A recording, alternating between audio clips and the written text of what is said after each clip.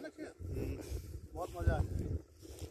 ये है करीब बीस कुंटल अट्ठारह बीस कुंटल आती है फैक्ट्री से हम्म। हमारे यहाँ। किसान के यहाँ थोड़ी सी होती है। दिक्कत क्या है किसान भी क्या करता है ना छींट छाट के जी जी जी। छुट्टी पा लेता है। ये एक अब तक 12 प्रजातियाँ विकसित की गई हैं। जो नवीनतम प्रजाति है पंत मसूर बारह। ये वर्तमान में उत्तराखंड सरकार द्वारा रिलीज़ कर दी गई है ताकि किसान भाई इसको उगा सकें। और इसको भारत सरकार के यहाँ इसका प्रस्ताव सबमिट किया गया है, ताकि इसका नोटिफिकेशन हो सके और उसके बाद इसका व्यापक पैमाने पर पूरे देश भर में बीज उत्पादन किया जा सके।